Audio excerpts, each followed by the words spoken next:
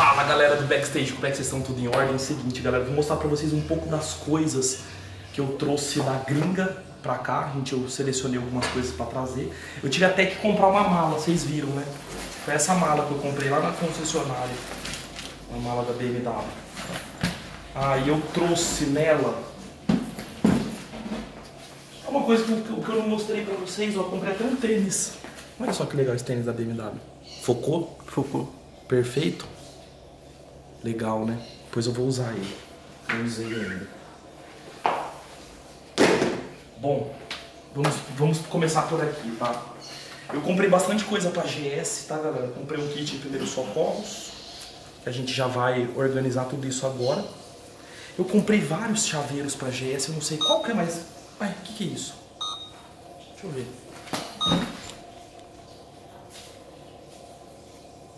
Não sei o que, que você faz. Só pitou. Mas quando apita é porque tem alguma coisa errada. Estranho. Kit de primeiro socorro. Aí, André, eu comprei. Olha, olha só os chaveiros. De novo. Nem tô mexendo na câmera. Como não, gente? Tá normal. Ah, pera aí, ela deve estar travada em algum lugar. Aqui, ó. Sabia, tava travada. Pronto. Agora não vai apitar mais não. Voltando ao assunto. André, olha só, comprei esse chaveiro da GS, tá vendo? Da 3D dela, esse chaveiro é dela. Aí eu comprei esse aqui, que é o do museu da BMW. BMW Welt. Bonito esse. Bonito, né? E eu comprei um outro, cara, que é um, eu acho que é o mais legal de todos, que é esse aqui. BMW Motorrad Motorsport. Legal. E aí, qual que a gente usa? Cadê o da GS? Abre ali. Ah, é pequenininho. O da GS é pequenininho, é só um chaveirinho. Ah, esse é legal, Legal. também. É legal usar tipo esses dois, né, cara? Não sei. Os dois são legais, né? Tem que testar pra ver o que que fica mais bonito ali. Vamos pegar a chave dela aqui, vem cá.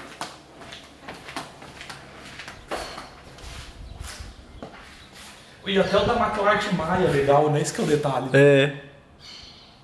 Até o da McLaren Maia é bacana. Só que realmente é sambanga, ó. Será que dá pra fazer uma chave mais bonita pra ela, será? Então, será que alguém vai saber se tem como gente, fazer uma chave mais bonita? Só aquele cara lá. Enfim. Onde que tá a chave reserva dessa moto? Tá dentro do... do Manual, daquele- né? É, aqueles papel lá. Qualquer coisa a gente põe no- na reserva. Bom, vamos fazer assim então. Qual que a gente vai usar? Vou tirar o da concessionária. Ah, olha só que legal. Isso aqui é tipo um adereço. O chaveiro mesmo é tipo isso aqui, então. Né? Parece que é. Interessante, né?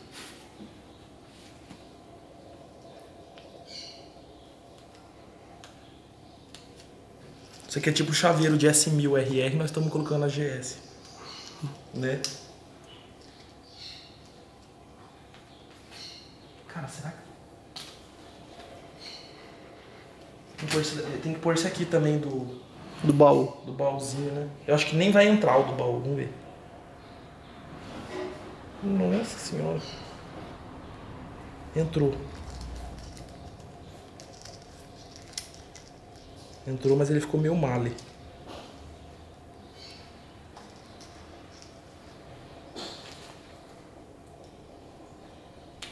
Aí, ó. Aí você pensou na possibilidade de pendurar o da GS aqui ainda, só pra ficar, mostrar com a GS 310? Vai ficar parecendo um pendura. Vai ficar muita... Sei lá. Vamos ver, bota aí.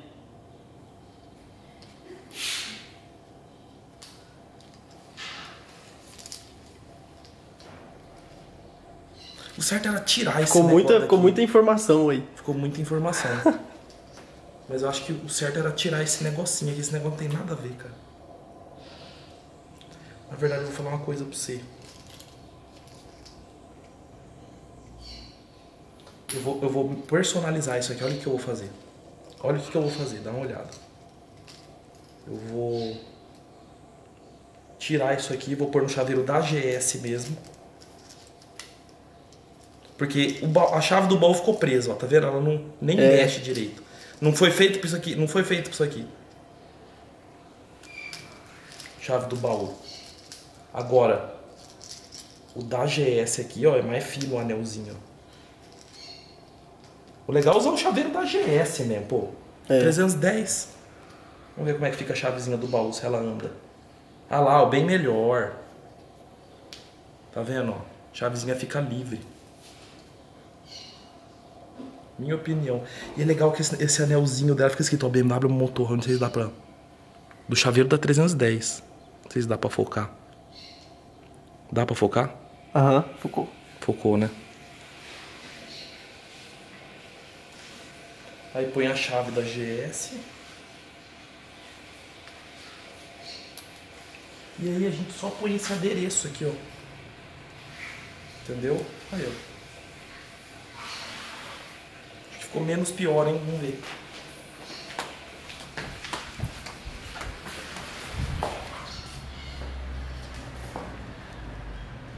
Eu nunca vi um, um chaveiro de GS pra vender.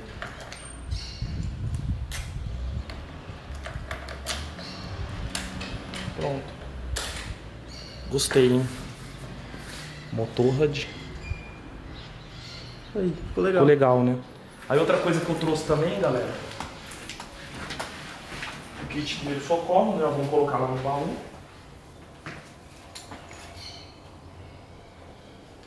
Já vamos colocar lá no baú. E eu trouxe também um. Tem gente que falou que isso aqui não ia passar lá no aeroporto. Passou. Tá, Passou lá no aeroporto. O que, que isso aí é de limpeza? Limpeza de corrente e lubrificação de corrente. Vou deixar tudo no baúzinho, mano.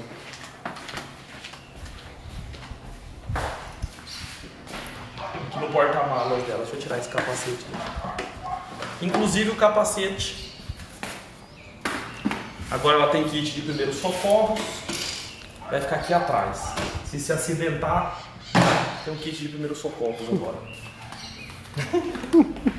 Ai, meu Deus do céu. Ah, galera, tem uma outra coisa que eu comprei pra ela também, ó. Eu comprei uma caixinha de som portátil da Bang Olufsen. Olha que legal. Tá aqui ela. Só pra andar de moto. Onde você vai pendurar isso aí? Então, eu tava olhando aqui, ó. Eu acho que eu vou pendurar. Não sei. Eu pensei em pendurar isso aqui, ó. No retrovisor. Tá vendo, ó? Aí você anda, põe ele aqui, deixa ele solto aí, você só pra você escutar a musiquinha, tá vendo? Aí pelo menos é uma caixinha da Bang Olufsen. Acho que não atrapalha. Agora a moto tem som assinado. Tem som assinado da Bang Olufsen, não é qualquer som não. Não é qualquer som não. Entendeu? E vai chegar o suporte de celular também, né? Que a gente Vai. pôr nela. Suporte de celular, vai ter, vai ficar tudo. O celular com o som, tudo bonitinho. Tá? Então acho que pra moto é só isso, né? E o capacete? Ah, é o capacete. Mais legal é o capacete, mostrar em detalhes. Aqui tá o capacete. Já podemos arrancar o adesivo, que vai ser o capacete oficial da GS. A película. Eu descobri que esse capacete é um negócio muito bacana, que eu não sabia. Olha que legal esse capacete. E ele tem óculos escuros, você acredita? Ah, é? Aham. Olha que legal o símbolo da BMW aqui do lado. Não, e olha que bacana isso aqui, ó. Como é que faz pra... Ah, tinha um aviso aqui, mas deixa eu ver como é que faz. Ele tem um óculos escuro, cara, mas... Como é que faz pra baixar esse óculos escuro aqui? hein?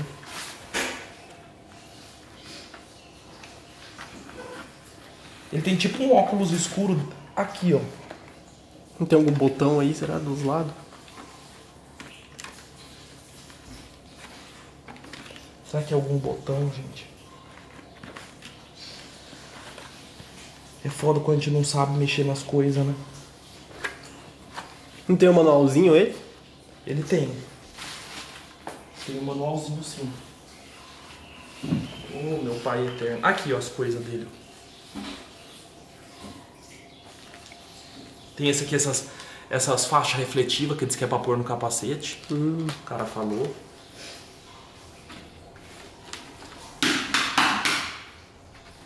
Ah, e aqui, ó. Hum. Aí, ó. Olha lá. O óculos escuro. Olha que legal. Vamos ver se fica le... Vamos ver se combina com a moto. Deixa eu subir na moto. Ah, deixa eu tirar já essa etiqueta da BMW Motorrad. Novo sem uso, galera, o capacete.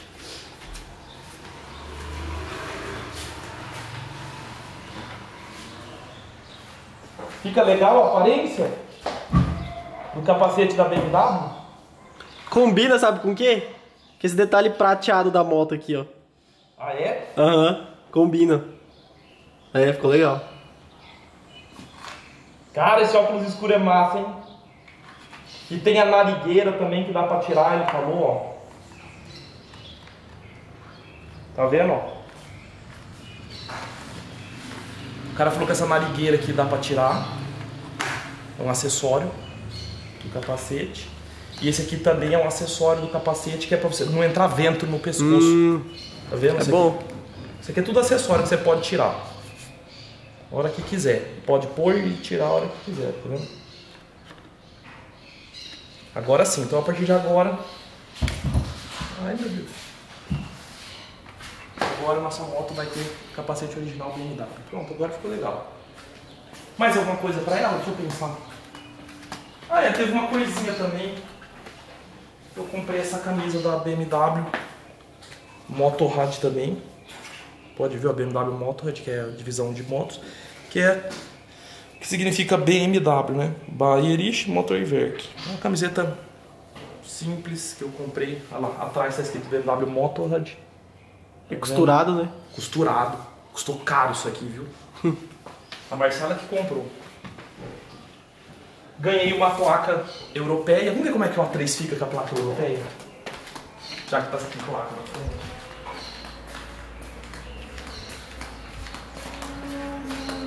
Nossa, igualzinhos da Europa.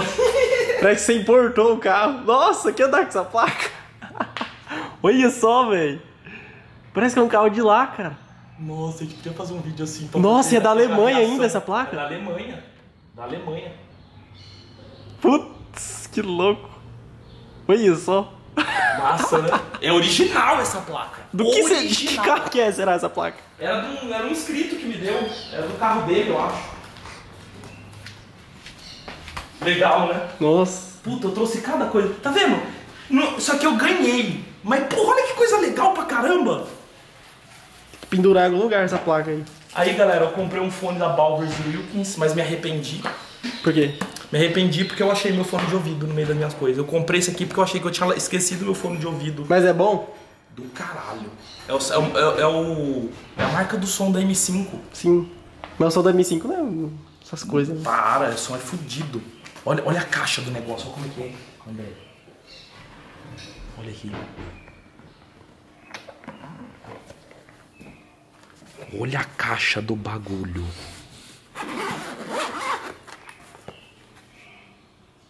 Olha o fone. Põe na orelha, só pra você ver. Não, é fudido. É Bluetooth? Você só põe na orelha, não precisa nem ligar, mano. Só põe na orelha e só vê o conforto dele. Nossa, Já sentiu o drama, né? Você sentiu o drama, né? Aham. Custa 6 mil aqui no Brasil esse fone, o belga falou. Louco, hein? É. Mas eu me arrependi porque eu não precisava ter comprado isso aí. Entendeu? Eu tenho um fone já. Mas foi bom, valeu a Você é da Harman, experiência. Hã? Da Harman. Eu tenho um fone da Harman também. Bom, segura aqui. Vamos mostrar o resto das coisas. Comprei um livro da BMW em alemão também. Pra deixar de decoração, que eu comprei no museu da BMW. Até esses negocinhos eu comprei, galera. Esses imãs de geladeira eu comprei lá no. Esses dois eu comprei no museu da BMW. E esse aqui eu comprei lá em Madrid. Eu devia ter comprado mais. Todas as cidades que eu fui passando, eu devia ter comprado o imã, mas É verdade. mas agora já era. Você curtiu que até a sacola da loja da Bang Olufsen eu trouxe. Olha a sacola que louca. Ah, sim. Com a alça de tecido. Você tá louco, até a sacola eu trouxe. Era uma loja, eu tava andando lá em, lá em Barcelona. Hum, a loja da Bang Olufsen. Falei, parei lá mesmo, comprei lá. 199 euros foi essa caixinha, de graça. Não, e olha isso aqui, André. Ó, isso aqui é a caixinha do bagulho, né?